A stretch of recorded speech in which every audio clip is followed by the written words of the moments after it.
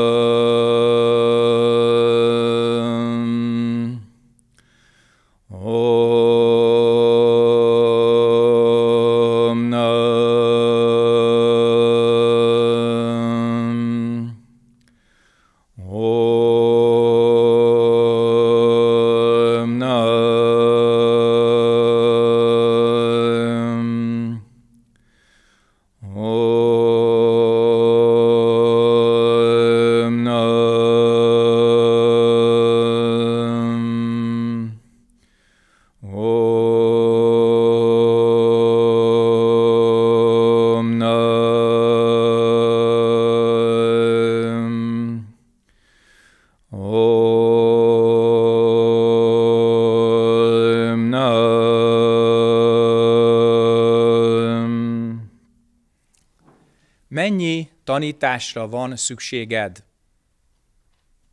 Hány könyvet kellett elolvasnod ahhoz, hogy egy percet meditálj?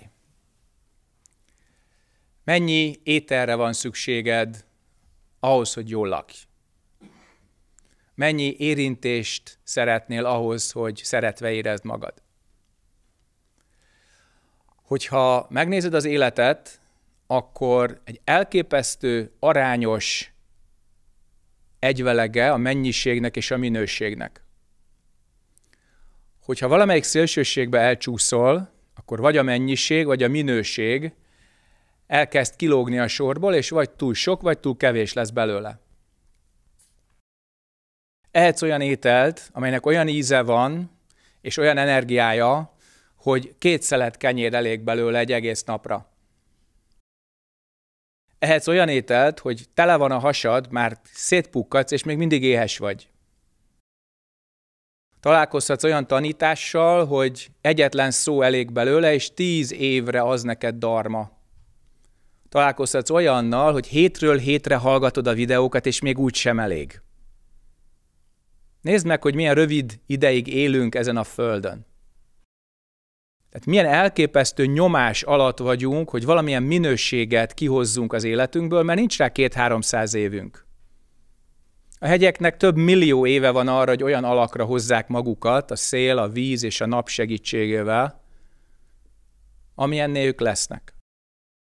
Nekünk, embereknek annyi időnk van ezen a földön, mint amíg egy molylepke meglátja, hogy ott a gyertya, oda repül, és elég a gyertya lángjában. Ennyi egy ember élet a földi mértékhez, vagy kozmikus mértékhez mérve.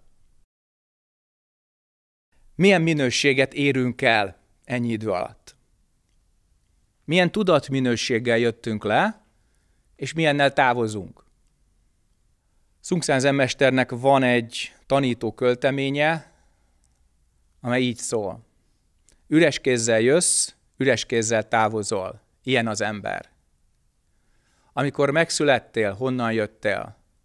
Amikor meghalsz, hová mész? Az élet olyan, mint az égen összeálló felhő. A halál olyan, mint az égen szétoszló felhő. Az égen úszó felhő eredetileg nem létezik. Élet és halál, jövés és menés ugyanilyenek. De van valami, ami mindig tiszta marad. Ez egyszerű és tiszta, nem függ élettől és haláltól. Megkérdezlek mindannyiótokat, mi ez az egyszerű és tiszta? Ez a költemény minden egyes zentanítványnak házi feladat. Házi feladat úgy, hogy megkapod az első interjún, megkapod egy halotti szertartáson, amikor búcsúztatunk valakit, és megkapod akkor, amikor a lényegre kell ismét rámutatni.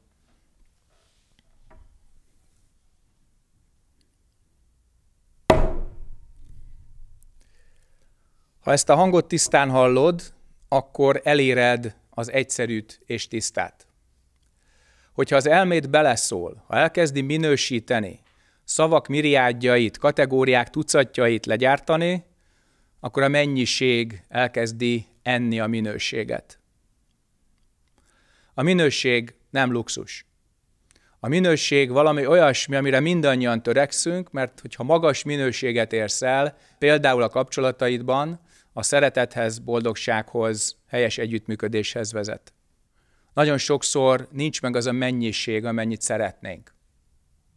De az mindenkinek a lehetőségei közé tartozik, hogy a minőséget megteremtse. Nem biztos, hogy akkor a szobában élsz, amekkorában szeretnél, de azt a szobát mindig kitakaríthatod. Nem biztos, hogy pont azt a testet hordozod, amelyiket szeretnéd, de mindig javíthatsz a fizikai állapotodon. Nem biztos, hogy olyan elmeállapotban vagy, amilyenben szeretnél lenni, de mindig növelheted az intelligenciádat. És végül nem biztos, hogy tapasztaltad kellő mértékben az egyszerű és tiszta eredeti tudatot, de mindig tehetsz erőfeszítést azért, hogy ez meglegyen. Ez nem mennyiség függő. Ez minőség függő. Ezért a Zen négy alapelvében az első az, hogy ne támaszkodj az írásokra, ne függj a szútráktól. A második az, hogy közvetlenül az ember tudatára való irányulás. Nincsenek rendszerek, szimbólumok, tolmácsok, papok. Mi magunk kérdezzük meg, hogy mi ez, ami bennünk kimondja azt, hogy én. A felébredés pedig nem valami speciális, nem valami csoda, fűzér, hanem a befektetett munka gyümölcse. Amikor szellemileg letisztulsz, és végre autonóm leszel, a saját szemeddel tisztán látsz, a saját szíveddel tisztán érzel, illúzió és interferencia mentesen. Tehát a megvilágosodás egyenlő igazi önvalód tapasztalatával semmi más. Végül pedig az átadás csak is közvetlenül embertől emberig, tudattól tudatig, lélektől lélekig történhet. Másképp nem. Tudom, hogy nagyon szeretnénk ezt is az interneten keresztül elintézni, nem lehet. A kérdés az, hogy mennyire törekszel a minőségre, mennyire szeretnél fölébredni, mennyire szeretnél illúziómentesen élni, mennyire mered korábbi önmagadat megváltoztatni. És ha nem, akkor a karmád szorításáért csak magadat okolhatod. A zenben három komoly alkotó része van a gyakorlatnak. Az egyik a nagy kérdés. Erről az előbb hallottatok. A nagy kérdés az, hogy megkérdezed, hogy mi ez? Mi ez, ami lát a szememmel, hall a fülemmel, érez a szívemmel, cselekszik a testemmel, és végső soron kimondja azt, hogy én. Mi ez? Ez a nagy kérdés. A nagy bátorság pedig az, hogy haladsz az úton, gyakorlod minden nap a tiszta tudatot, nagyon kevés eszköz kell hozzá. Az előbb beszéltem arról, hogy ugye minőségi és nem mennyiségi közelítésről van szó. Akik kipróbálták a zent, akármelyik iskola legyen az, egyszerű, világos meditációs technikát kapnak. A tiszta tudatra külön recept nincs. Ahogy egy kínai mondás mondja, hogyan találhatnád meg azt a bikát, aminek már a hátán ősz. Itt nyugaton kívül keressük a megoldást. Úgy várjuk, hogy végre-végre jöjjön el az, aki ezt elhozza nekünk. De a bátorság azt jelenti, hogy akármi történik kívül vagy belül, haladsz az úton. Megtartod a nagy kérdést, és bátran mész előre, mert a buddha, dharma és szanga hármasában van egy elővételezett bizalmad. És ez a bizalom az, ami visz. A tapasztalatok ezt megerősíthetik.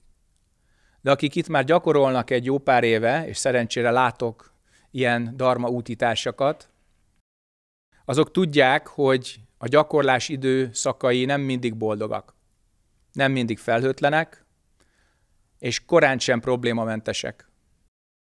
Miért csodálkozunk azon, hogy koszos a víz, ami a vödörben van, miután felmostad a szobádat? Miért csodálkozunk azon, hogy a kórházban beteg emberek vannak? Miért csodálkoznánk azon, hogy a tudatunk tükrében a karmánkat látjuk, és nem tetszik? Aztán nem tetszik az, hogy nem tetszik, és abba hagyjuk a nem tetszést. Aztán csak látunk. És elérhetjük a látás általi megszabadulást. Ekkor van hitünk. Tehát a harmadik elem a nagy hit. A nagy kérdéssel kezdünk, a bátorsággal folytatjuk, és ez egy tapasztalati alapú hit, hogy ha nyolcszor elesel, kilencszer állsz föl. Nem bízod másra az utadat, magad járod, de nem egyedül, nem a saját véleményeidet előtérbe tolva, hanem a tanító, tanítás és tanítványi közösség által segítve, magadból egyre inkább lejjebb adva, ezáltal elnyerve igazi önmagadat. A nagy útnak nincs kezdete vagy vége. Neked van egy olyan érzésed, hogy az út elkezdődött. Miért? Mert ráléptél. Mert úgy döntöttél, hogy gyakorolsz. Eképpen az útnak vége sincs. Akkor érzed, hogy vége van, amikor leléptél róla. Amikor elcsüggettél, amikor elveszítetted a fókuszt, amikor az eredeti minőségi igényedet lejjebb adtad. És ekkor megszűnsz gyakorolni, ezerféle okot találhatsz arra, hogy miért ne. De például az, hogy nekem ez így már jó. Én most már rendben vagyok. Én már elértem valamit. Rámadtak valami ruhát például. És innentől kezdve, hogy én már elértem valamit, csak hanyatlás van. Csak pusztulás van. Nincs már meg a kérdés élessége, a bátorság kitartása és a hitnek a nagyszerűsége, amely hangsúlyozom tapasztalati alapú hit, semmiféle dogmatizmus vagy írás alapú hiedelem nincs benne. Addig nincs kész a munkánk, amíg akár egyetlen egy érzékszervhez kötött, tudatos lény szenved. Ezt őszentsége a Dalai Láma is mondja. Nagyon sokan vágynak arra, hogy tapasztalják a reinkarnáció alapját, hogy tényleg lássanak bele életeikbe és korábbi identitásaikba. Ezt én nem serkenteném, és nem is gátolnám. Ha meg kell látnod a gyakorlatot közben, akkor az megjön. Ha nem, akkor nem. Miért? Még több munka. Még több házi feladat. Az endben nincsen szándékos regresszió. Tehát nem küldjük a gyakorlót vissza a múltba. Az endben egy nagyon egyszerű tanítás van, ezt a pillanatot tarts tisztán. Ezt szolgálja a Zen négy alapelve, a gyakorlat három pillére, amit az előbb elmondtam. És ha ebben a pillanatban te teljesen tisztán jelen vagy, olyan tudattal, mint a tér, mint a tükör, akkor teljesen mindegy, hogy ki voltál te a múltban, hogy hány inkarnációd volt a Földön, hogy azok szépek voltak vagy csúnyák, teljesen mindegy. Ebben a pillanatban légy igazi önmagad, ebben a pillanatban lásd tisztán a karmádat, ebben a pillanatban ismert fel a helyzetet, teremts helyesen kapcsolatot, és cselekedj helyesen. Ezért ez az egyszerű és tiszta, amit hallottál a bevezető költeményben, ez az igazi kincsünk, bár ennek nincs neve és nincs formája. És ezért lehet mindenkinek a kincse, mert eredetileg ez mindegyikünk. Nem mindegyikünké, eredetileg mindegyikünk ez. Igazi önvalónk az egyetlen, ami közös bennünk. Minden egyéb más. Más a testünk, más a lelkünk, más a lelkünkben hordozott karma, másképp látunk, hallunk, szagolunk, tapintunk, ízlelünk, és nagyon-nagyon másképp gondolkodunk és érzünk. Ha hidat találunk egy másik lélekhez, az fantasztikus. Ha be tudunk illeszkedni egy csoportba, fantasztikus. Ha egy harmonikus, szerető családot tudunk vinni generációkon keresztül, áldás. Nézd meg, mennyi munka van ebben az egyén részéről. Csak ahhoz, hogy egy normális párkapcsolatod legyen, vagy egy harmonikus családi életed, vagy egy magas szintű csoportkultúra, mennyi munka van ebben? Pontosan azért, mert hogyha valami közöset nem találunk, ha ezt a pillanatot nem éljük tisztán, akkor az egész szétesik. A magunk aprócska, egyéni univerzumában vagyunk, képernyőfüggéssel vagy anélkül, most már teljesen mindegy. De mihelyt az elme csak a saját mini boldogságát, egyéni jólétét privát mennyországát, individuális nirvánáját tartja szem előtt, abban a pillanatban az összes kapcsolata bukik. A másik három nagy karma, az egyéni karma mellett, a páros, a család és a csoportos mind szenved. Nézd meg a saját életedet. Ebben a négy karmaosztályban rend van? Az vagy, akinek lenni szeretnél? Olyan pár vagy, akinek lenni szeretnél? Olyan családtag vagy, akinek lenni szeretnél? Olyan csoporttag vagy, akinek lenni szeretnél? Ezeket a kérdéseket, ha mélyre engeded menni, rájössz, hogy nagyon nagy a munka, még az egyén szintjén is. És ennek lesz kihatása a párkapcsolatra, a családi kapcsolatra és a csoport kultúrára. Nem kell sokáig keresnünk, hogy hol van a házi feladat. És bűntudat nélkül, a házi feladat látásával, további hibákat nem vétve, alázattal és szolgálattal lehet helyesen gyakorolni. Az alázat nem megaláztatás és nem megalázkodás. Egyszerűen főhajtás a világ előtt, a buthák és pátriárkák előtt, akik nagyobbak és megvilágosodottabbak, mint mi. Az út követhető. De az, hogy a természet és az ember között az erőviszonyok milyenek, ezt ne feledjük el. Ez a világ mindig nagyobb és erősebb lesz, mint bármely ember vagy embercsoport. Az egyén mindig kevesebb lesz, mint a pár, a család vagy a csoport. És nézd meg, pont az egyénnek van egy óriási önkép problémája, mert azt hisszük egyénként, hogy mi többek, erősebbek, nagyobbak lehetünk mindezeknél. És nem látjuk be, hogy ezen téves nézetek összessége az a karma, amit el kell takarítani. Nincs más. Ami pedig a múltból feljön ebben a pillanatban, akár előző életekről, vagy előző életszakaszokról van szó, az mind-mind olyas valami karma, amely akadályozza ennek a pillanatnak a helyes megélését. Tehát mindaz a tárház tudatodból, a megkülönböztető tudatodból, a fogalomalkotó tudatodból megjelenik, amely ezt a pillanatot beszennyezi.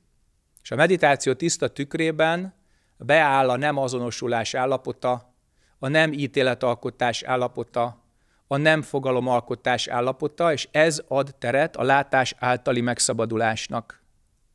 Amikor engeded a karmát a helyre kerülni, amikor engeded a szélsőségeket középúttá szelidülni, engeded a személyiség széttagoltságát integrálódni ismét, és ekkor vagy egész, ettől vagy egészséges.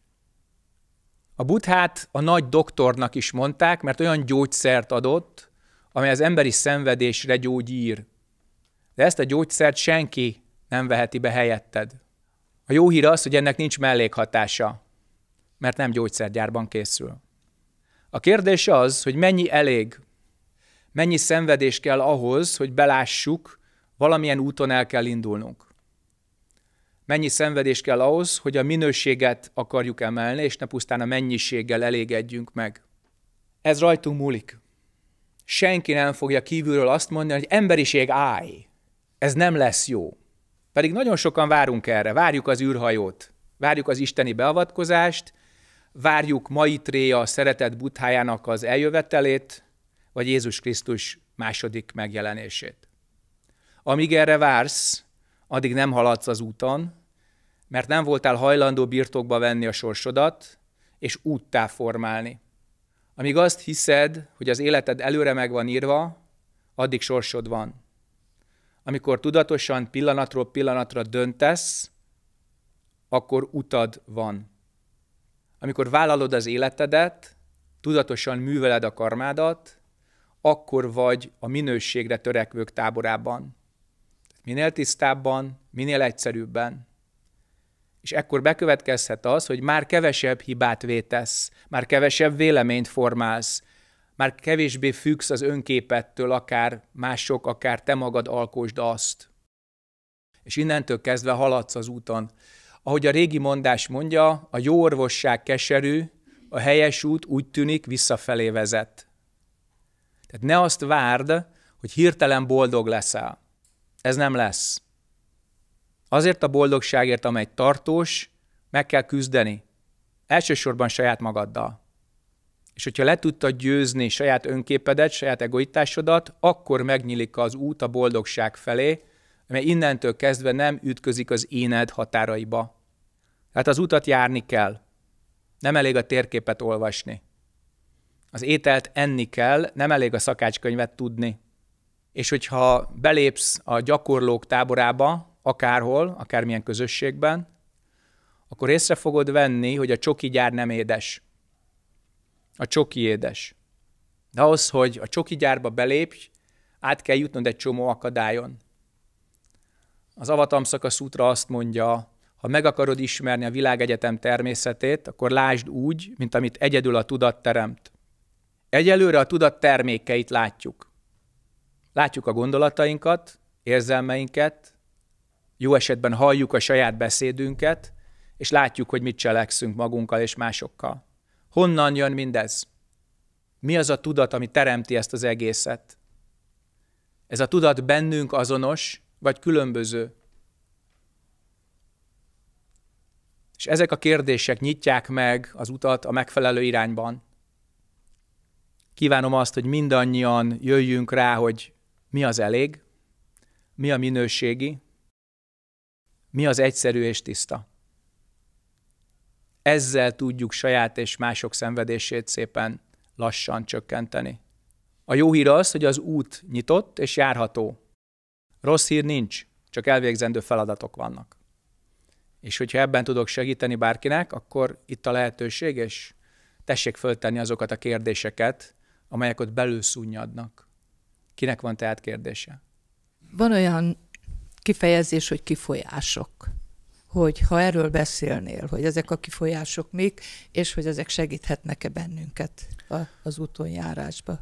A kifolyások azok a tudat szennyezettségének a következménye. A szennyezettséget klésáknak hívják, az ebből eredő tudatfolyamatokat, nagyrészt tudattalan folyamatokat szanszkáráknak, és a kifolyások azok, amikor a saját életednek a hajóján lékeket ütsz. Ezek azok a hibák, amelyeket úgy követsz el az érzékszervi síkon, a gondolati síkon, az érzelmi síkon, hogy egy állandó entrópiában, energiavesztességben és minőségromlásban élsz. Ezek a kifolyások olyanok, hogy ha te egyszer ezt meg akarod állítani, akkor el kell ismerned, hogy igen, szenvedek és szenvedtetek. Hibázok és hibáztatok. És hogyha ezt le akarom állítani, vissza kell térnem azon dualitás elé, mely úgy működik, mint egy légkalapács. Oda, vissza, oda, vissza, és a hegyével a saját bölcsesség hajónknak a palánkját lerombolja. Ez a bölcsességhajó nem más, mint az a tiszta tudat, amely eredetileg gondolkodás előtti, élet és halál előtti, és benned most ez működik. Valójában az elmédet ez használja. A testedet ez használja. A lelkedet ez tartja életben. És hogyha a kifolyásokat nem állítjuk le, akkor széttagolódunk, energiát veszítünk, minőségtelenségben, szétszórtságban, dekoncentráltságban élünk. Ezért fontos a tudat egységének a helyreállítása, ezért kérlek, hogy ne gondold túl. Nézd meg, mennyi gondolat elég. Ne alkos túl sok fogalmat. Mennyi szó és mondat elég. Ne akar túl sokat érezni, látni, hallani, szagolni, tapintani, ízlelni és a többi, mert ez mind-mind kifolyás. Ha hermetikusan le akarod zárni a hajódat, hiba akkor tagadod, hogy létezel. Ha túlságosan kinyitod a hajótestet, minden hullám bejön, és elsüllyedsz, akkor nincs értéke az életnek. Úgyhogy a tudat szivárgását, süllyedését, széttagoltságát meg lehet állítani. És végső soron ennek a pillanatnak a tiszta tapasztalata az, amely megállítja ezeket a kifolyásokat. Van az úgynevezett szamata és vipasszana meditáció. Lehet-e egyiket a másik nélkül gyakorolni? Lehet, de nem érdemes. Tehát a samata és vipassana, vagy samata vipassana meditáció, az a koreaiban a kanhua son. Tehát úgy képzeld el, hogy van egy víztükröd, amelyik állandóan hullámzik, mert mondjuk fújja a szél. A tudat tükre ugyanilyen, a saját karmádnak a hajtóereje, a gondolataid, az érzéseid, az impulzusaid, a tetszésed és a nem tetszésed állandó duális hullámokat vetnek erre a víztükörre. A samata az azt jelenti, hogy ezeket a hullámokat te elsimítod, és megállítod ezt a hullámzást. Na, ekkor ez a víztükör elkezdi mutatni a világot úgy, ahogy van. Képzeld el, hogy ez egy olyan speciális víztükör, amely ugyanúgy, amely ugyanúgy mutatja a víz alatt lévő világot, mint a víz felett lévő világot. Ugyanolyan hűséggel. És ekközben engedi a víz alattit és a víz fölöttit egyé válni. Ez a vipasszána, vagy vipassjaná, ez a látás, vagy belátás. Ez az intuíció gyökere. Minden egyes meditációban benne van, amit valaha az emberek elkezdtek és kifinomítottak, a legklasszikusabb téravádától lást táj, burmai, illetve miammari, egészen a nagyon-nagyon komoly mahajána ízváltozatokig, legyen az tibeti, kínai, japán, koreai, mindegyikben megvan. Miért? Mert igazi önvalónk működése alapjaiban nem különbözik teljesen kultúra független, és minden kultúrában megnyilvánulhat. Koreában kan hua son, a kan az a perceive, felfog, a hua az a jelenség. A jelenségek felfogásának a meditációja. És ehhez pont ez kell, egy elnyugodott víztükör, és benne a tükröződés felismerése. Most gondold el, hogy valakinek olyan nyugodt a víztükre, hogy az már tényleg nem mozdul, már ezer éve de nem a látásra használja. Ez botorságnak tűnik így, de van, aki az ürességet szeret, és nem hajlandó látni, belevész a lényegbe. És a lényeghez való ragaszkodás az olyan, mintha mindig százszázalékos alkoholt innál, előbb-utóbb elpusztulsz bele. A lényeget használjuk arra, hogy lássuk az igazságot. Engedjük ezt a tükröt tükrözni. És lássuk meg, hogy az ég kék, a fű a függöny kék, és a padló pedig ilyen drapos mintás járólap. Tehát a lényegből következik az igazság. Minden egyéb igazság az elme által kreált, és így vagy másodlagos, harmadlagos, vagy illuzórikus. És a lényegre, illetve az igazságra épülhet a helyes cselekvés.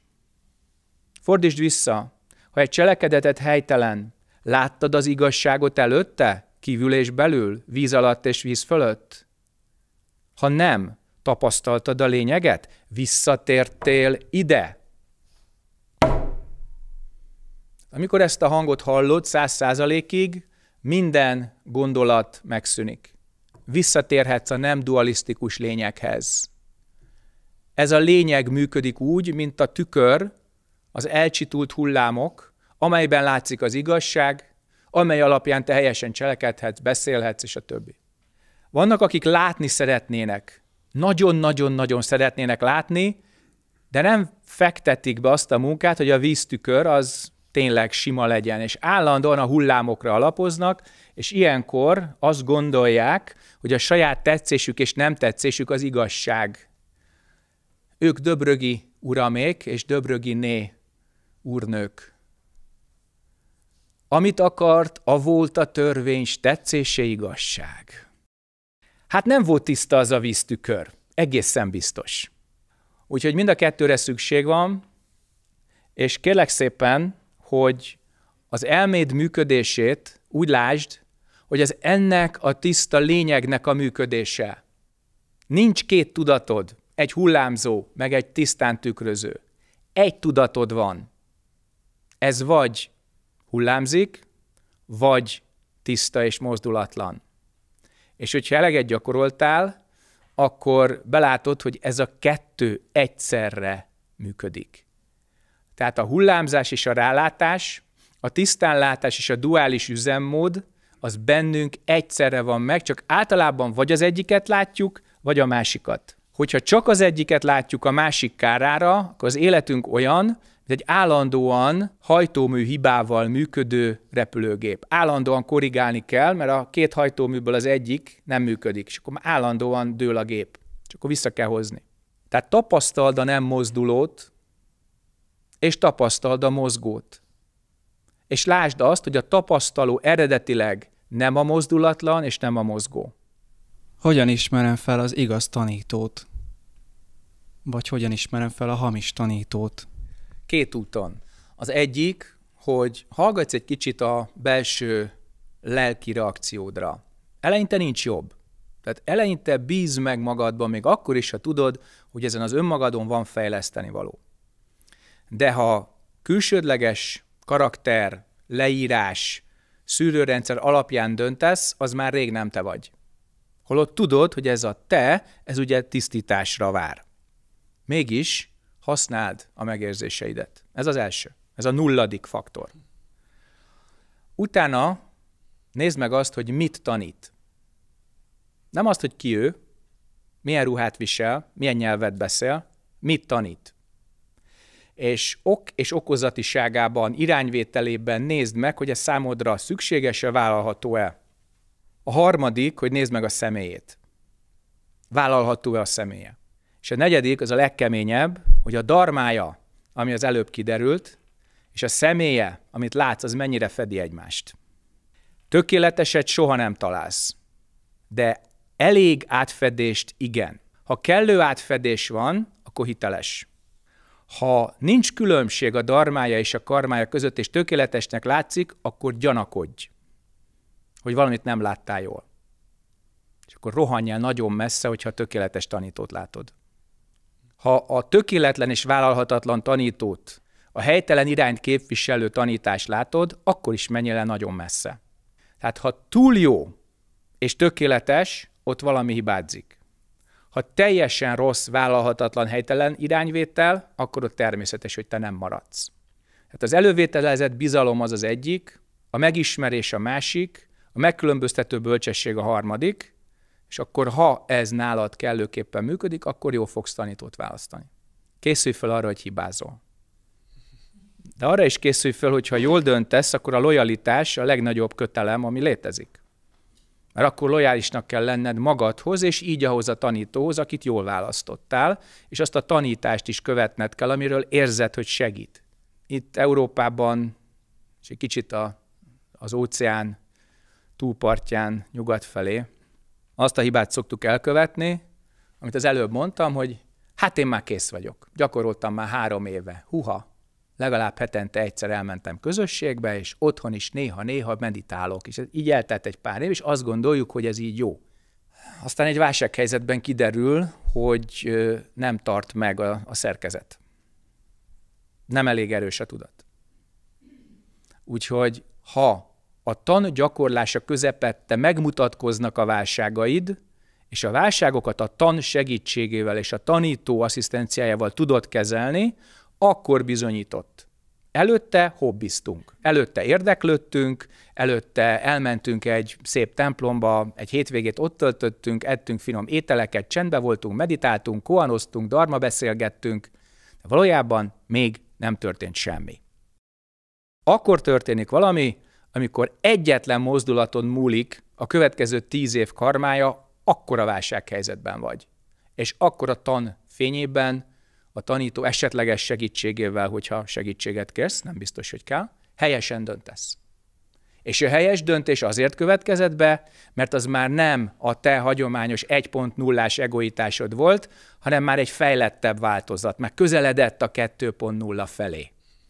És akkor látod, hogy a tannak mi az értéke. Mert addig, addig csak méricskéltünk. Addig csak tapasztalgattunk. A koanok azért fontosak, és az enképzésnek számomra elengedhetetlen alkotó része, mert a gerinc vezetékét adják annak a tannak, amely kivezet a gondolkodás útvesztőjéből a paradoxonok kapuin keresztül. A paradox azért érdekes, mert gondolkodással nem tudod megoldani. Nem tudsz átmenni rajtuk. És hogyha a saját gondolkodásodat kritikus helyzetben nem tudod megállítani, akkor pont az lesz az, ami a szakadékba visz.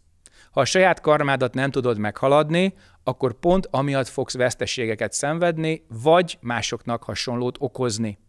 És a tannak az a dolga, hogy általunk a szenvedés okát, megszüntetését és a megszüntetés módját bemutassa, ha már egyszer elismertük a szenvedés tényét. És az első mindig a legnehezebb, amit most utoljára mondtam. Hogy lásd meg a szenvedés tényét. a szenvedés és szenvedtetés általad tapasztalt folyamát. És akkor a tan segítségével ráláthatsz az okára, a megszüntetésére, és járhatod a megszüntetés útját.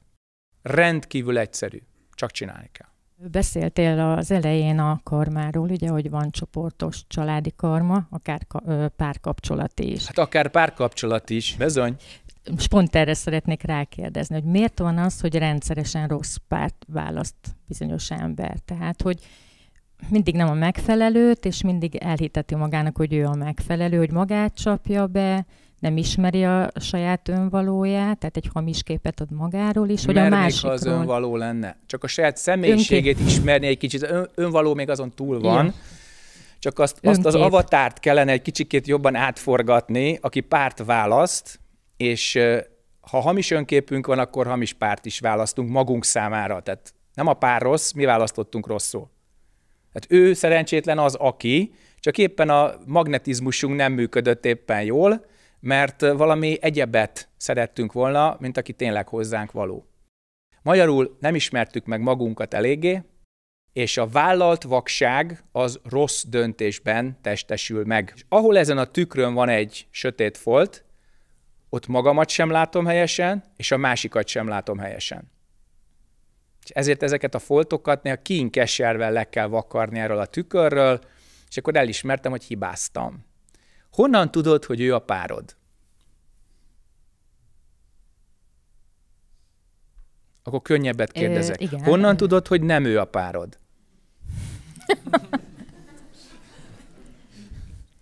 És nálam ez egy érdekes ez a kérdés, mert én elég hamar megtaláltam a páromat, és rövid időn belül nagyon erős belső nem is tudom, egy intuíció volt, hogy amit ő mondott, mintha az én szavaimnak a folytatása. Tehát, hogy nagyon hasonlóképpen gondolkodtunk, ugyanazon a szinten, vagy nem, nem tudom, nem szint, ez nem jó fogalmazás, de, de bizonyos dolgokról hasonló véleményünk volt, és hasonlóan és tart a kapcsolat?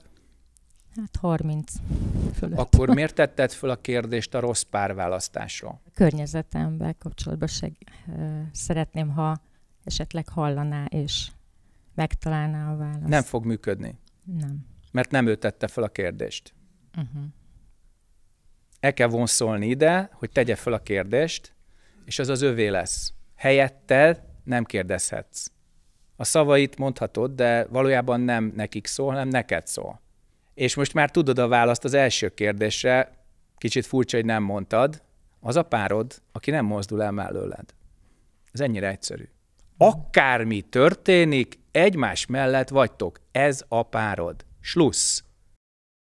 Hogy rendezitek, hogy egyeztetitek, hogyan tisztítjátok, hogyan alakítjátok, teljesen mindegy a jelenségek szintjén. Olyan erős lélekkapcsolat, hogy te nem engeded el őt, és ő nem enged el téged. A lelkek így fogják egymást azért, mert hisznek egymásban, bíznak egymásban, szeretik egymást, együtt akarják az életüket élni. Mindenen túlmennek, mindenen. Mert már elég érettek ahhoz, hogy ezt lássák. Nem kívülről determinálják a párkapcsolatot az egyéb résztvevők, mint család, csoport, stb. véleményei. Világos, hogy éljünk harmóniában a családjainkkal és a társadalommal, ez rendben van. De nem lehet hogy egy igazi, egymáshoz tartozó pár életét a külvilág határozza meg. Különben mindenki Rómeó és Júlia sorsára jutna. És lehetséges, hogy valaki soha nem találja meg ebben az életben? Mivel ez nem te vagy, ezért örömmel jelenthetem, hogy jelentéktelen a válasz. Vannak olyan emberek, akik magányosak maradnak életük végéig, hát ilyet látunk. Akkor lehet, hogy ez az oka annak, hogy esetleg rossz kapcsolatok születnek, mert már olyan kevés az idő, és muszáj, hogy legyen. Nem? Ez a harmadik kérdésed, ami nem a tied. És én dolgozom rajta, hogy hasznos legyek számodra, de nem könnyíted Próbálok meg a, a közösségnek is valamit. Tehát most legyél szíves, mert ezt uh-huh. gyakorlatilag ez most nem téged Jó. minősítelek, de ez most kuka, így ahogy Jó, van értem, ez a harmadik kérdés. Értem. És hogyha most megkérhetnélek arra, hogy a saját kérdésedet a saját szűdből tett föl, akkor ez nagyon sokat segítene.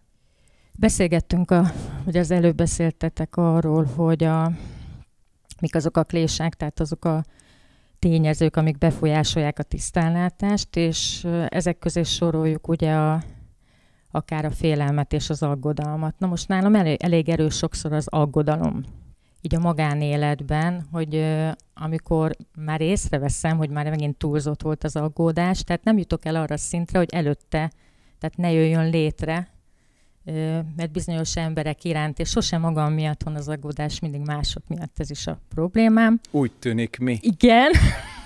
És itt nézzél bele. Igen, folytasd. Igen.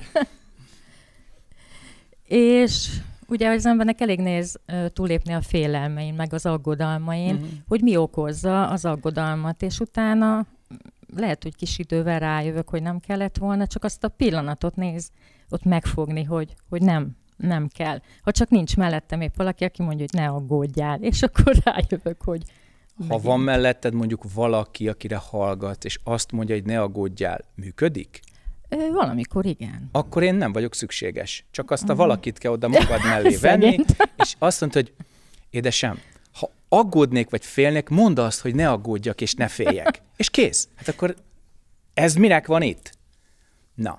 Hogy mi szóval, ki ezt, igen. Enyhén tűztermészet vagy, és néha ez a tűz sokkal több lángban lobog, mint kellene. Tehát a tudat széttagolódik. És ezért legyél szíves, amikor a belső félelem és aggodalom széttagolja ezt a tüzet, kívül egy kijelölt tűzrakó helyen egy nagy tüzet gyújtani. Abba az egy nagy tűzbe belehelyezed az összes aggodalmadat és félelmedet. Ráírod mindegyik félelmedet és aggodalmadat egy darab papírra, összegyűjtöd, és elégeted ebben az egyetlen nagy tűzben, amely akkor kint van, de tapasztald meg, hogy belül is van egy katlan az éberségnek a tüzében, amelyben minden karmád el tud égni. De ehhez egy külső tűz kell először. Utána elénekled a magyar szívszutrát, és boldogan hazamész. Egyéb kérdés? Nekem az a kérdésem, hogy hogyha cikázik a tudatomban a sok gondolatom, célom pedig az, hogy ezt a tükröt, ezt a víztükröt elérjem, amiről az előbb beszélt. Hogyan tudom ezt elérni? Van a testünkön egy olyan pont, amit úgy hívunk, hogy köldök csakra, japánul tanden, koreaiul tantien, és innentől kezdve ez a köldök csakra, ami a fizikai köldök alatt két unyival van, ez a háza ennek a sok-sok cikázó fecskemadárnak. Látsz parti fecskéket, fantasztikusak, úgy tudnak manőverezni, hogy soha más madár ilyet nem, és van ez a löszfal, vagy agyakfal, főleg folyó kanyarulatainál, és a parti fecskék ott vannak, és ilyen kis lyukakban ott tanyáznak. Reggel, este úgy tizedelik a rovarvilágot, hogy hát olyan még nem volt. Most képzeld el, hogy ez a sok-sok parti fecske a te gondolatod. És ezek egy fészekből jöttek ki. Ez a fészek a köldök csakrád. És engedd meg, hogy ez a sok-sok gondolat oda szépen visszaszálljon. Ez a meditáció dolga, és működése, ezért tartunk egy Mahamudra nevű gesztust, kéztartást itt a köldök előtt, és hogyha ezt a meditációt megtanulod, akkor ezek a gondolatok előbb-utóbb visszatérnek a helyükre. És itt véget ér a fecske hasonlat, mert ezek a gondolatok egyetlen nagy gondolkodás előtti tudatból jönnek ki. Tehát vissza tudsz térni egy olyan állapotba, hogy a testtartást, a légzést figyelve, a köldöktájékra koncentrálva ezek a gondolatok ideig, óráig el tudnak tűnni. És ez is teljesen rendben van. Utána nézd meg, hogy gondolkodnom kell erről. Akkor gondolkodom. Mennyit, ameddig meg nem oldottam a feladatot. Megoldottam? Köszönjük, gondolat visszamegy a helyére, gondolkodás elé. Ahogy a katonák is kijönnek a kaszárnyából, elvégzik a harctevékenységet, és visszatérnek a laktanyába. Ezt az embernek a gondolataival is, és az érzelmeivel is meg kell tudni csinálni. A beszédjével is, és a cselekedeteivel is. És a zen meditáció ebben segít. Ezt hívjuk helyzetfelismerésnek, kapcsolatfelvételnek és cselekvésnek. Ne legyen se túl sok, se túl kevés. A gondolatokat nem gondolattal szabályozzuk. Az érzelmeket nem érzelmekkel regulázzuk meg hanem van valami, amely dualitás előtt, és ennek a tükrében spontán Az intuíciót dönti el, hogy mennyi kell, mennyi gondolat elég. És akkor nem fogod túl gondolni, és alul gondolni sem. Az a jó, hogyha az elméd valami magasabbat szolgál, mint önmaga. Így, mint ten magad. És hogyha nincs mit szolgálnia, nincs feladat, amit elvégezzen, akkor térjen vissza a laktanyába, és nem mozduljon. És akkor nem gondolkodunk feleslegesen. Nem beszélünk feleslegesen. Inkább csak egy ilyen kíváncsiság, de ö, van egy olyan mondás, és tőled is hallottam ezt már, hogy ami a tied, az megtalál. Hát most már kb. egy éve, hogy találkoztam a, a tanításaiddal a YouTube-on, meg, meg voltam elvonuláson is, és nekem nagyon sokat adott, meg gyakorolok, tehát ez sokat ad nekem. És az a kérdés fogalmazódott meg bennem, hogy miért nem talált meg engem ez a tanítás akkor, amikor így visszagondolva a leges legnagyobb szükségem lett volna rá. Menj vissza abba az időpontba, amikor a legnagyobb szükséged lett volna rá, idézd fel azt az énedet, amely akkor működött benned, meghallottad volna? Elhitted volna? Használtad volna? Lehet. Lehet, Ez de nem biztos. Van egy ilyen mondás, amikor a tanítvány megérik, a mester megjelenik. Ez mitől függ? Attól függ, hogy te akkor ki vagy. Mert azt vonzott be. Tehát a te tetszésed, nem tetszésed, akaratod, taszításod, ez az, ami a világban ezt a hullámtevékenységet szabályozza. Amikor te bevonzol valakit vagy valamit, akkor az a tied. Ha nem, olyan messzire elkerül, hogy csak így a nyomát látod. Akkor miért van az mégis, hogy néha szeretnénk bevonzani valamit, de csak a nyomát látom? Mert szeretnéd, és nem vonzod. Most egy csomó gondolat kavarog a fejemben ezzel kapcsolatban, hogy, hogy azt gondolom, hogy akkor tudom vonzani azt, amit szeretnék, hogyha igazából meg tudom csinálni azt, hogy nem szeretném. Nem. Nem. Most hanem, intellektuálisan kicsikét zsákutcába csaltad magadat. Itt a hitről van szó, és az akaratról. Tehát, hogyha tényleg hiszed azt, hogy neked ez az utad, amit akarsz, azt meg akarod valósítani, a mögött egy stabil személyiség van. Másképp ez az akarat nem lenne egységes. Az utad nem lenne nyilvánvaló. És ez a személy, aki te vagy, ez a stabil valaki, ez, szá- ez szabályozza a vonzást és taszítást, az oldást és a kötést. Ha belül te nem vagy egységes, az önképed naponta változik, hogyha a fürdőszoba tükröddel veszekszel minden reggel, hogy te hogy nézel ki, addig ez nem fog menni. Tehát ne szeressünk valamit csinálni, vagy gondolkodjunk, meg vágyjunk. Tehát, hol van Moszkva? Mása. Hol van Moszkva? Tehát nézd meg a három nővért, döbbenet. Újra a sirályt is, jó? Hogyha nem elég Csehov, menjél vissza egy kicsit Ibzenig, az biztos, hogy le fog hangolni. Tehát, jó? Tehát nézd meg, hogy te valójában milyen önképpen rendelkezel, az én élményed micsoda, milyen úton jársz, mit akarsz, és annak a függvényében alakul az összes vonzásod és taszításod. Visszafele, hogyha te olyan embereket vonzol be, olyan helyzetekbe kerülsz, olyan véletlenek történnek veled, amelyek borzalmasak, akkor belül te valamit nagyon nem láttál. Valahogy nagyon nincs rend. Jó? Jó, ezzel már nem vitatkozom. Köszönöm. Szívesen. Beszéltél meditációról, tudattisztításról. Azt szeretném megkérdezni, hogy a szabályok, vannak bizonyos szabályok. Azok mennyiben segítik ezt a dolgot? Mert a legtöbb ember a szabályokat korlátnak élik, éli meg. Tehát mikor találkozik egy tanítással, megjelennek bizonyos szabályok, és úgy értelmezik ezt, hogy egy szabály azért van, hogy átlépjük, ez egy nagyon divatos szlogán a mostani világban, a másik pedig az, hogy korlátoknak érzik a szabályokat, tehát egy kicsit idegenkednek tőle. Tehát mi a szerepe, van-e összefüggés, mennyiben? Nézd, hogyha ilyen tanítvány jelölt el, vagy érdeklődővel találkozol, akkor légy szíves, küld ki őket az autópályára, menjenek rajta egy pár száz kilométert, és vizsgálják meg a korlátot, a szalag korlátot, és számoljanak be a nyomokról, hogy mit láttak rajta. Pár száz kilométert mész a magyar autópályákon, gyakorlatilag egy Moritz novellát tudnál megírni, csak a látottak alapján, hogy azok a korlátok milyen regényt írnak neked, akkor rájövünk, hogy ez a nagyon-nagyon divatos kifejezés, az a hamis önkiteljesítésnek a teljesen illuzórikus és borzalmatos tévedése.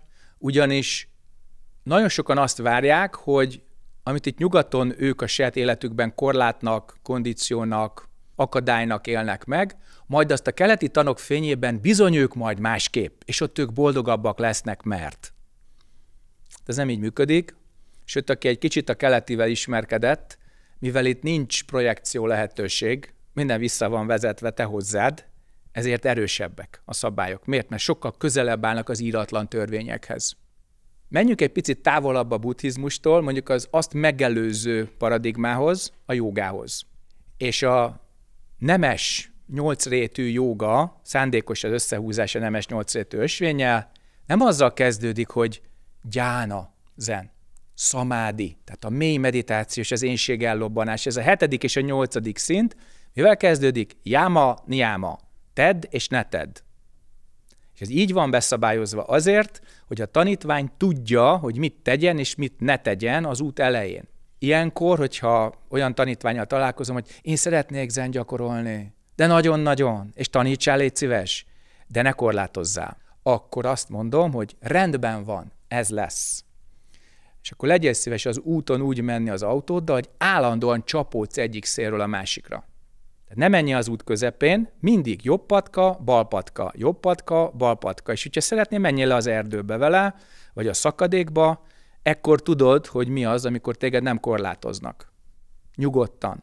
De legyél egyedül az autóban, és nehogy egy nyuszit te ott megriasszál a mezőn, vagy belemenjél az őzeknek a vonulási útvonalába, te ne szenvedtessél másokat a saját hibáid miatt. Na, ekkor fölébred. Ennyi elég általában az akadály, a korlát és a szabály ez nem ugyanaz. Ha azt mondod neki, hogy ismerjük meg saját határainkat, de lépjük túl saját korlátainkat, akkor elkezd az ilyen elme megnyugodni, kicsit túl sok a rajasz benne, a tűz, és akkor állandóan, mint a Prométeusz lázad. Holott a lázadó Prométeuszban nincs tragikusabb, mint az, hogy állandóan láncra van verve, és állandóan a máját tépi a sas. Tehát az érzelmeibe a leg magasabb szellemiség, ami a sas, ugye, az állandóan beleharap, állandóan tépi, és láncra van vetve az ok és okozat láncára, mert nem tud megszabadulni a lét törvényeitől. És ami a legdurvább, hogy az emberek ugye attól félnek, hogy nem élhetik azt az életet, amit szeretnének, mert ugye korlátokat kell elviselniük, és szabályokhoz kell ragaszkodniuk, és itt nem az a, az üzenet, hogy minél keményebbek a korlátok és szorosabbak a szabályok, te annál jobb úton járó vagy. Nem. Minél kisebb az eltérés a belső világ szabályai és a külső világ szabályai között, annál hihetőbb az, amit csinálsz. Annál autentikusabban élsz. Tehát ha te azt vállalod, hogy házas ember vagy, hogy családban élsz, és a családot megszentelő szabályokat követed, és belül is ezt érzed fontosnak, akkor ez a fajta önazonosság, a képmutatás hiánya, a hazugság hiánya, ez az, ami az integritáshoz vezet, és nem az, hogy te pontosan milyen szabályokat követsz. Tehát olyan fogadalmakat védj föl, amelyekben hiszel, mert akkor követni is fogod őket. És olyan fogadalmakat ne védj föl, amelyekben nem hiszel, mert akkor azokat előbb-utóbb meg fogod törni. És hogyha ezt így teszed, akkor nem a fogadalmakkal és a szabályokkal van a baj, hanem veled. Mert nem merted vállalni azt, aki szeretnél lenni, azon az áron, hogy betartod a szabályokat. Ez nem azt jelenti, hogy ne adj magadnak nehezebb feladatot, mint amit most éppen végre tudsz hajtani, de nézd meg, hogy mennyire tudsz hinni benne. Mennyire a tiéd az. És hogyan lehet ezt az egészet még természetesebbé tenni, megmutatod, hogy mi van az akadály túloldalán. Ha leküzdi az akadályt, mi lesz belőle? Ha áttöri a korlátot, mi lesz belőle? Ha betartja a szabályokat, mi lesz belőle? Ha megszegi a szabályokat, mi lesz belőle? Nagyon szeretem az írott és íratlan viszonyát taglalni. Számomra egy szabály annyiban hihető, amennyiben tükrözi az íratlan törvényeket. Tehát az, hogy emberek egy csoportja leír valamit, lepecsétel és egy infrastruktúrát alátesz és betartatja másokkal, attól ezek a szabályok még nem lesznek törvények. Amennyiben az íratlant is követik, annyiban hitelesek. Vannak a léleknek törvényei, a testnek törvényei, az itteni létnek törvényei, ezt úgy hívjuk, hogy darma. Ez a darma, ez a törvény. Ez akkor is működik, ha te nem tudsz róla, akkor is, ha tudsz róla.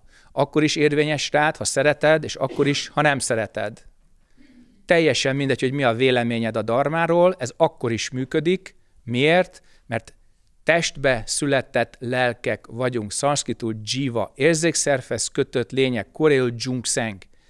Tehát amikor az érzékszerfesz kötött létbe beléptünk, megszülettünk.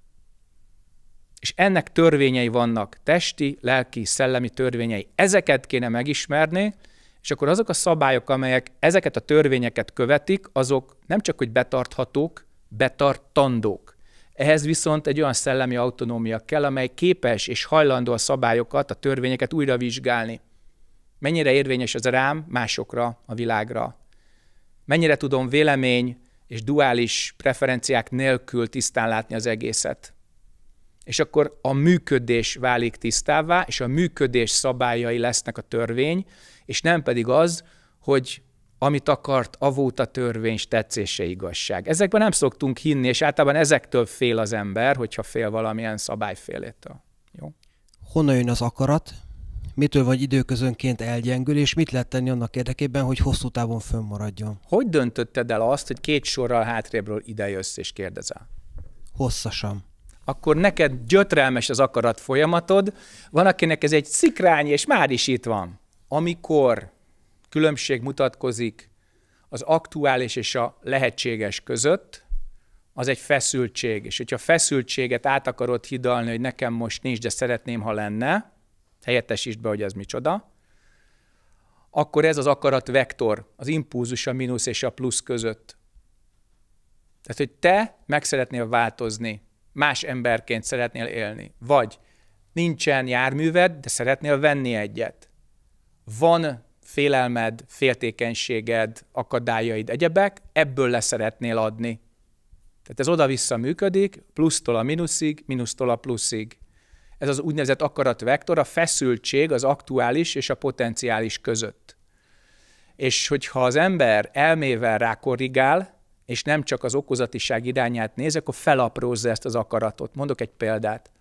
Mágyó zenmesterhez bement egy jó pár szerzetes, és ezért Kínában elég sok hegy van, és megkérdezték a tiszteletadás után, mester, mester, ebből a hegyből kifaraghatjuk mi a magasztos Buddha urunk ülőkép mását? Ez elég nagy munka. Tehát ez több millió köbméterről van szó. Azt mondja az emmester, igen, körülnéz, és boldogok, és ismét tiszteletadás, és mennek ki, és az utolsó szerzetes visszaszól, Mester, tényleg kifaraghatjuk mi ezt? Erre azt mondja, már nem. Ennyit az akaratról. Ez nem azt jelenti, hogy Hübele Balázs módjára Szeleburdi János legyél, és így bele. Ezért mondom, nézd meg az irányát, nézd meg, hogy mivé válsz, ha eléred. Mi van az elérés túloldalán. És hogyha látod azt, hogy ezt akarod, akkor vidd végig. Tehát, hogy mi az elég, azt ma már említettük, a másik nagy törvény, amit elkezdtél, fejezd be. A minőségről is beszéltünk, amit csinálsz, csináld a legjobban. És a negyedik nagy elv, amit boldogult apám mondott, hogy tudd, hogy mi a legfontosabb. Ezt nézd meg, és akkor az akarattal előbb-utóbb nincs probléma. Van egy biztonsági szelep, ugye? Nem magadért akard. Vagy ne pusztán magadért akard. Érezd át mások helyzetét, és értük akard. Ebben benne leszel te is. Ez egy nagyon jó biztonsági tartalék. Itt ugye, amit mondtál, hogy amit elkezdtél, azt fejezd be. Uh-huh. Itt, ha a felénél fogy el ez az akarat, mert a feszültség már nem elég nagy, de a cél még mindig nincs itt, mert mondjuk az erőfeszítés lemorzsolta a különbséget. Nem az erőfeszítés morzsolta le, hanem az, hogy nem töltötted újra az üzemanyagot. Nézd meg, hogy eddig milyen üzemanyagból dolgoztál. Mi volt a motivációd? Ki volt a motivációd? És féltávon mi lett belőle? Nagyon sok jó szándék azért fullad kudarcba, mert nem merjük bevallani, hogy mi is végesek vagyunk. Mi is szorulunk újratöltésre. Mi is kölcsönösen függő helyzetben vagyunk. Az akarat akármilyen nemes, ha maga fölé helyeződik, tehát az illető annyira magas röptűt akar, hogy már ő se tudja, hogy ez hogyan valósul meg, akkor tragikus dolgok történnek még a legjobb szándékú ember vagy projekt esetében is. Tehát mindig maradjunk a földön, amellett, hogy a meghaladó bölcsességet használjuk. Mindig lássuk azt, hogy az oké és okozat hogyan működik az akarat megvalósítása, a cél elérése közben. És ne vonatkoztassunk el ettől. Mert hogyha nem látjuk az ok és okozat törvényét helyesen, akkor hisszük azt, hogy egy végtelenre töltött szuperjármű vagyunk, a megtestesült örökmozgó. Nem. Nincs örökmozgó, nincs végtelenre töltött üzemanyag, néha le kell állni, újra tölteni, újra kalibrálni a navit, és akkor szépen tovább menni. Így eléred a célt. És hogyha nem magadért teszed ezt, akkor szükségszerű, hogy mások is jönnek veled. És van egy ilyen régi afrikai törzsi mondás, ha gyorsan akarsz menni, menj egyedül. Ha oda akarsz érni, menjetek együtt. Hogyan találhatom meg minél előbb a, azt a feladatot, ami, amire születtem? Nézd rá apádra és anyádra, mert hozzájuk születtél. Az első, szerintem már most fölteheted a kérdést rögtön az előadás után, hogy mi vezetett engem hozzájuk? Szoktam mondani, nem a szomszédba születtél, nem véletlenül születtél oda, ahova és amikor. Adott karmát folytatsz, adott környezetben, beleértve drága szüleidet is. Mi vezetett oda? És hogyha ezt megtalálod, akkor megtalálod magadban azokat a képességeket is, amelyek feladatért kiáltanak és akkor nem pusztán a szüleit karmájából építkezel, ami nagyon hasznos, mert legtöbbször ezt elmulasztjuk, annyira szeretnénk különbözni az ősöktől, és valójában nem tudunk. Hát mindaddig, amíg a karmát meg nem láttuk, és le nem választottunk róla, és újra nem gyúrtuk, addig nem fogunk különbözni mély szerkezetben a szüleinktől, pedig mindent megteszünk, hogy azok legyünk, akik. Tehát először nézd meg, hogy miért születtél oda, van idő rá, tanulsz, stb és akkor egy kicsit bölcsebben a szüleit karmáját elfogadva, birtokba véve, elsajátítva, és így átalakítva találod meg az életfeladatodat. Ezt azért mondom így, mert én nem így kezdtem. Na lehetőleg durvábban kezdtem, és azt láttam, hogy a szülői karmának a nagy része vállalhatatlan számomra 30 évvel ezelőtt. Tíz évbe telt, amíg legalább egy részét vállalhatónak láttam. Miért? Mert magamban kinkesservel megoldottam. Már nem fügtem tőle. Újabb tíz év, amíg egy másik részét láttam vállalhatónak, és megtanultam például az apám munkájára büszkének lenni az elmúlt öt évben. Hát elég lassú nóta, hidd el. Ezt nem kell ilyen lassan csinálni. Úgyhogy nagyon fontos az, hogy lásd meg, hogy miért születtél oda, apád és közted mi az, ami azonos és különböző, érzelmi kultúrád és édesanyád mintázataiban mi az, ami azonos és különböző. És kezd azzal belül, hogy amit te használhatónak, jónak, előremutatónak látsz, azt megköszönöd. És amikor ezt megköszönted, akkor elkezded tisztítani azt, ami akkor még nem köszönhető meg. Tehát légy őszinte magaddal, nem tudsz mindent megköszönni a szüleidnek, mert ők is emberek, tökéletlenek, küzdenek, de legalább érted küzdenek, és idáig fölneveltek, ez nem volt rossz munka láthatóan. Innentől kezdve, mihelyt ezt belül megláttad, önálló úton jársz úgy, hogy ezt a viszonyt elismerted. Amit meg tudták köszönni, megköszönted, amit nem, az szépen gyúrod magadban tovább. És akkor meg lesz a feladat is. Hogy lehet ezt nagyon elrontani, hogy én mit akarok? És állandóan falakba ütközünk, mert nem látjuk azt, hogy milyen erőforrásaink vannak. Amikor ez belül letisztázódott kellő mértékben, akkor megjelenik az a spontán kérdés, hogy mi a dolgom. És ez a mi a dolgom, ez nagyon fontos. De a háttér ugyanolyan fontos, mert ha az alapok nem tiszták, akkor az erre adott válasz még mindig a karmikus árnyékokban születik. Még mindig a megoldatlanságokat tükrözik, a nem feltárt kapcsolatokat, motivumokat tükrözik. És a mi a dolgomra nagyon sok jó válasz lehetséges, de akkor tudsz benne hinni, hogyha ismered önmagadat és a szüleidet, és így a családi kultúrát és karmát egy kicsikét jobban látod. Úgyhogy nézz körül, mint hogyha te lennél a saját titkos terapeutád, és így meg kell egy kicsit oldani a dolgokat, de belül először. Akkor kiderül, hogy ezt a kérdést úgy tudod jól föltenni, és akkor kapsz jó választ, hogyha az előbb említett munkát elvégzed. Az elején mondtad, hogy de hogy ne analizáljuk túl. Azt honnan tudod, hogy hol van az a határ, hogy ne gondold szét ezt? Mert mondtad most, hogy legyél a saját terapeutád. Ha látod, akkor az olyan, mint amikor a puzzle darabok maguktól a helyre kerülnek. Említette Gizella a Samata és a Vipassana állapotát, és amikor a tudat tényleg olyan tiszta, mint a tér, tiszta, mint a tükör, akkor a karmádnak így a szállongó darabjai a látás által, az okozatiság felfogása által, dualisztikus gondolkodás mentesen fogalmaktól függetlenül elkezdenek a helyükre kerülni. Ezt nem tudom jobban leírni, mint hogy a régi tibetiek mondták, a látás általi megszabadulás. Nincs jobb. És ez nem gondolatfüggő, sőt, ha az elmeidbe beleszól, a puzzle darabok elkezdenek repkedni különböző helyekre, és nem lesz tiszta a kép, mert az akaratod elkezdte befolyásolni, a tetszésed, nem tetszésed, az énséged, a nem énséged elkezdte befolyásolni halálmegvető bátorsággal maradj mozdulatlan, és engedd, hogy a karmádnak a darabjai a helyükre kerüljenek. Hogy amit addig nem láttál, meglásd, ami állandóan a szemed előtt volt, az tudjon egy kicsit eltűnni, és így a kiegyensúlyozás, a középrehozás, a reintegráció, a felébredés, ezek mind-mind bekövetkeznek.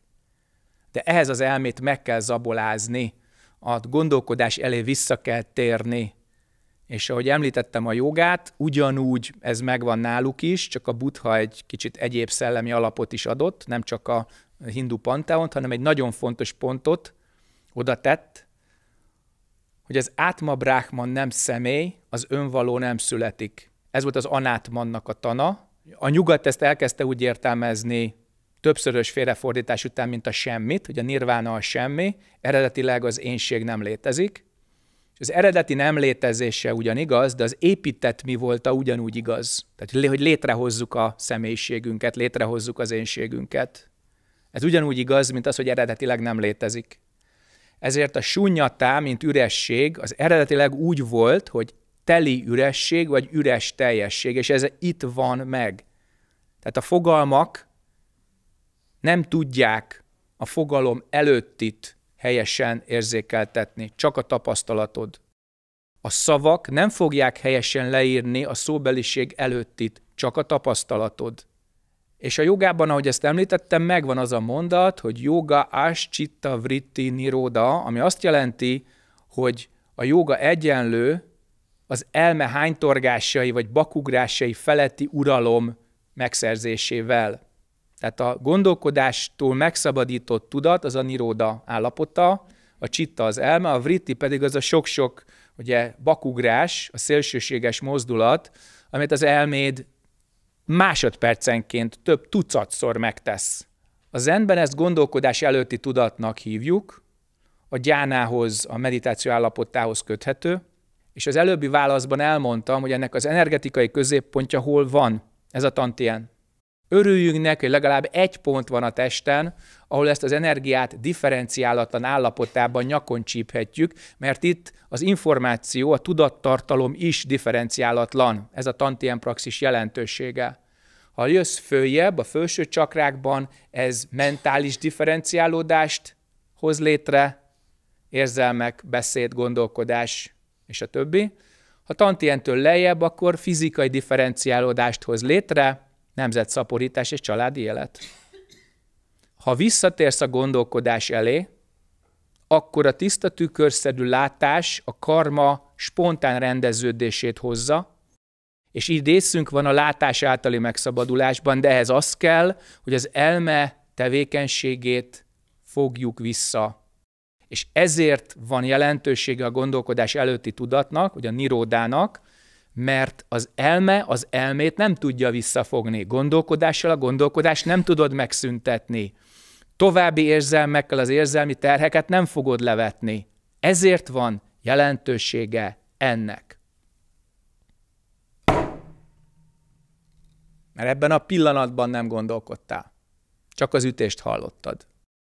És a meditáció egyik leglágyabb, de legmélyremenőbb technikája az, hogy ülsz, figyeled a testtartást, a légzést, a tantient, és csak a hangokat hallod.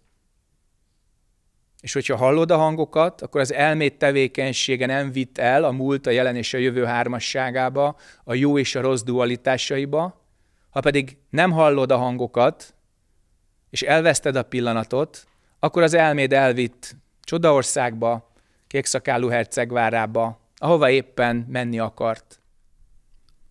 Van, hogy amikor bennünk van a vágy bizonyos dolgok megélésére, megkérdőjeleződik, hogy mennyire mozdít elő minket, az lenne a kérdésem, hogy tudok a legjobban dönteni. Tehát tartok attól, hogy ne éljem meg, és igyekszem kontrollálni magamat, és elengedni, vagy pedig feltétlen át kell, hogy essek, vagy meg kell, hogy éljem, és akkor megszabadulok tőle. Vágyak és álmok azonos vagy különböző? Amíg ezt nem tudod megválaszolni, addig joggal nem, egy, félhetsz. Egy, egy. Milyen viszonyban vannak? Azt mondod, hogy ezek egyek, akkor miért van rá két szó? Szerintem. Ö... Csak is. Az egyik késztetés, a másik pedig ö...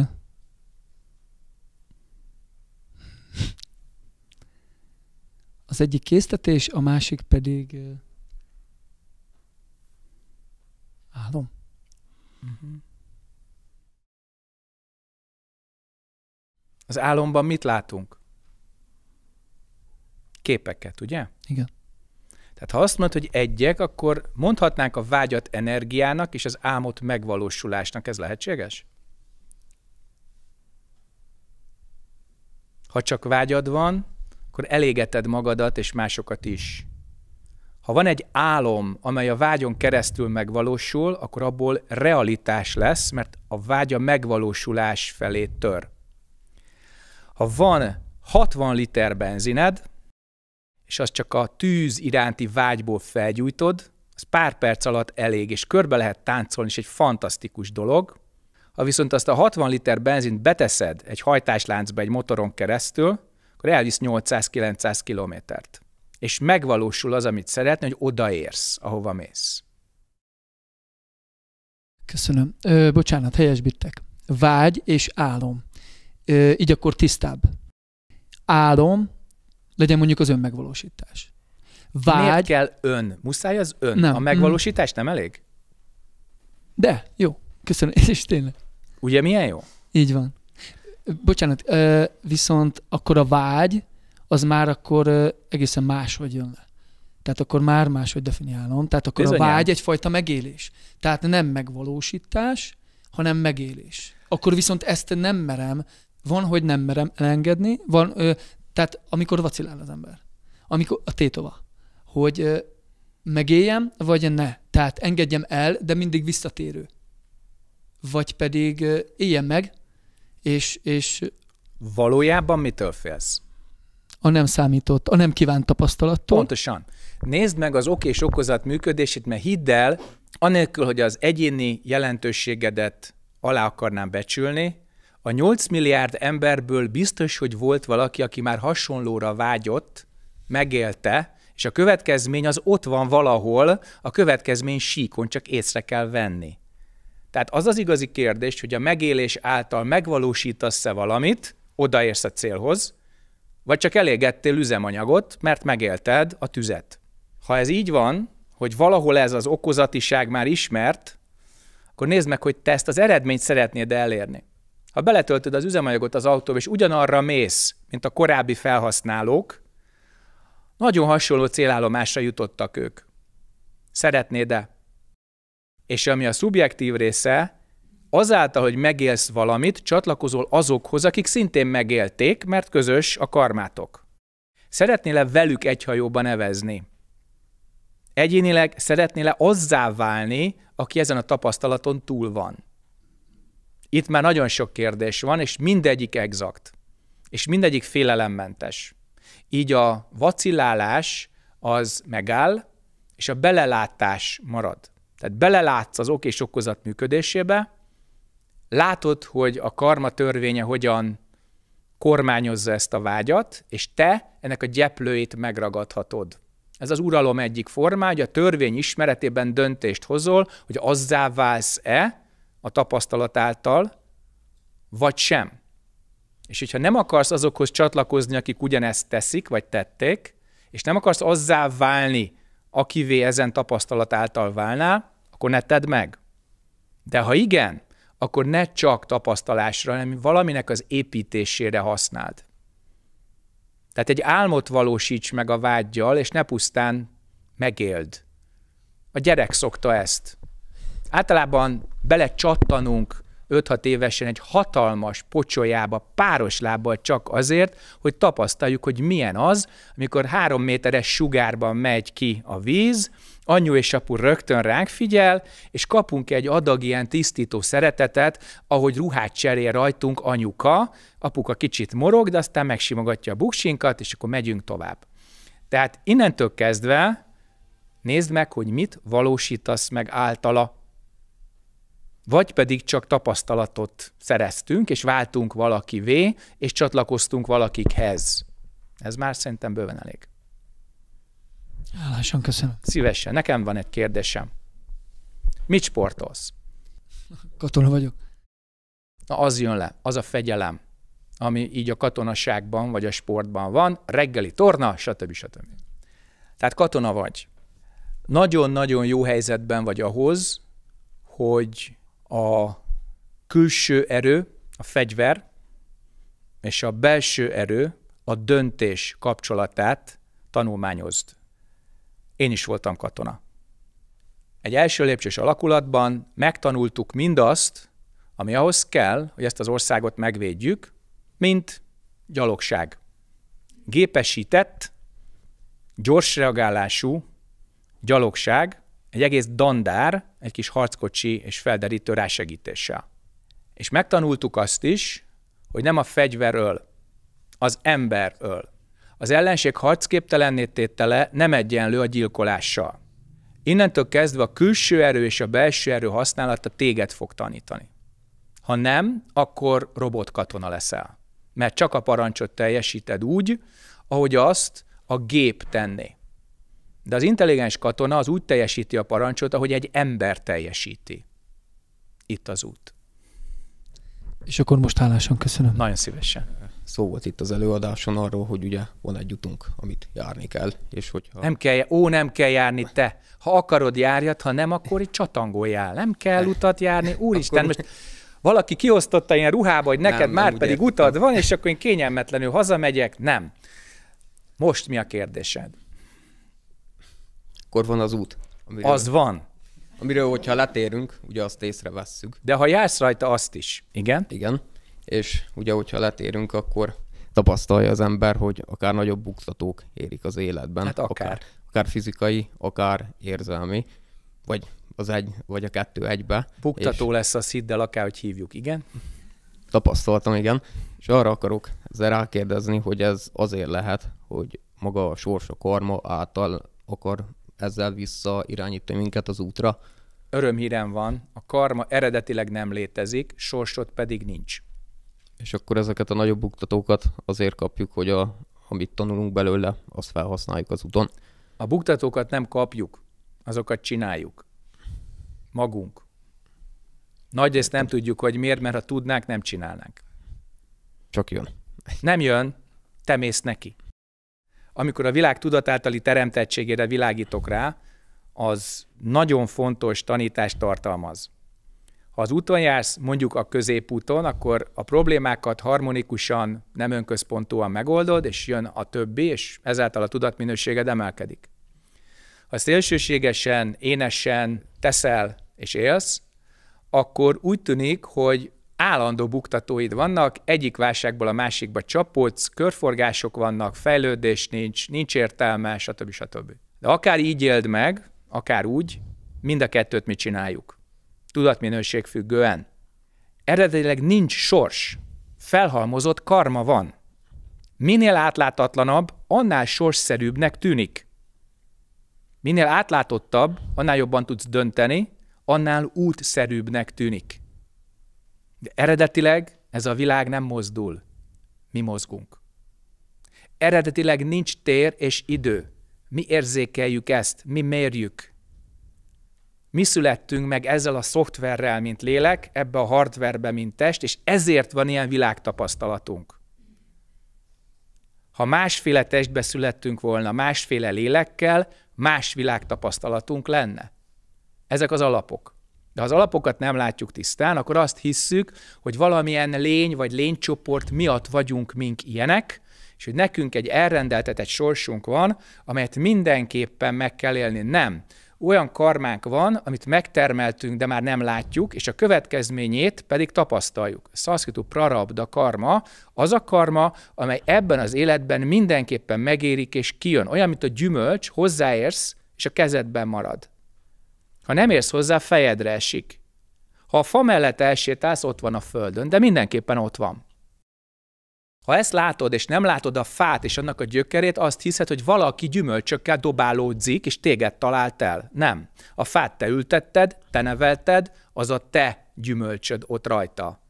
És most 8 milliárd ember gyümölcsét esszük. Ezt hívjuk csoportkarmának.